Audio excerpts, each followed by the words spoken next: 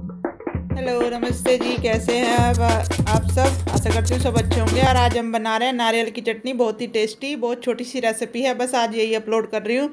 इसके लिए मैंने लिए नारियल, आम, हरी मिर्च, मूँगफली सेक के ले ली है और हरा धनिया लिया है। सबको मिक्सी में डाल के जार में डाल के ग्राइंड कर लेंगे।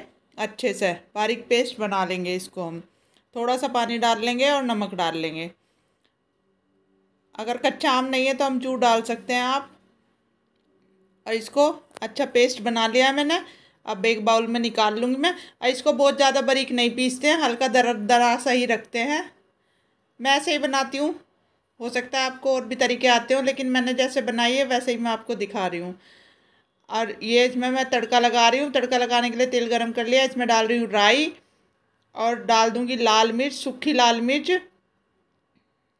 और थोड़ी सी मैंने ये चने की दाल कच्ची नहीं ली है, भुने हुए चने थे, उसकी की दाल निकाल ली है थोड़ी सी और ये डाल दूँगी। अब मैं गैस बंद करने के बाद इसमें कड़ी पत्ता, क्योंकि तेल काफ़ी गर्म था, नहीं तो जल जाएँगे कड़ी पत्ता। तो ये कड़ी पत्ता भी मैंने इसमें डाल दिए हैं सारे। आप काट के भी डाल सकते हैं, साबुत भी डाल सकते जैसा आपका मन करे। और अब इसको हम इस तड़के को हम डाल देंगे चटनी के ऊपर।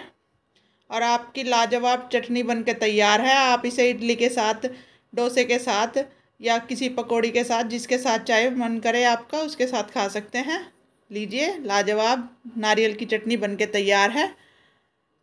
अगर वीडियो पसंद आई तो लाइक, शेयर, कमेंट करके बताएँ। और अगर मेरे चैनल पे पहली बार आए हैं तो मेरे चैनल को सब्सक्राइब कर लें और मेरी वीडियो को ज़्यादा से ज़्यादा शेयर करें।